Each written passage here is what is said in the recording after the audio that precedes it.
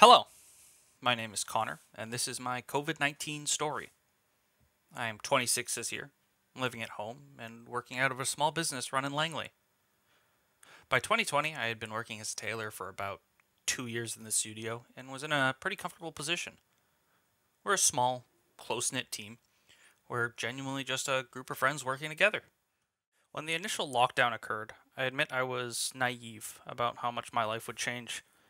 I assumed this would all blow over after a month, that COVID was just a passing issue in the greater scheme of the world. I was almost excited for a chance to spend a week or two on vacation. Well, a week or two turned into a month or two, and by the end of May, I ended up getting a phone call from my boss, my friend, the one running the studio. He'd been working alone for the last two months, pulling 16 hour days trying to stay on top of the workload customers were still demanding he filled out.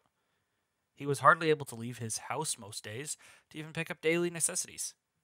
To make matters worse, his workload was continuing to grow as customers affected by COVID started demanding refunds just to make their own ends meet. There was no understanding from any of these people.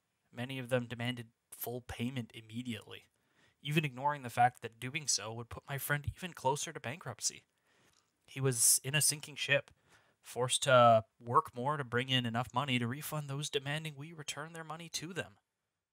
The conversation was a grim awakening for me. He hadn't been eating or sleeping properly and was unable to see anyone for two months. How many other people were going through much worse was a fact I had chosen to be ignorant about. He asked me to come back to the studio and made it very clear that he can't pay me anymore. And I agreed.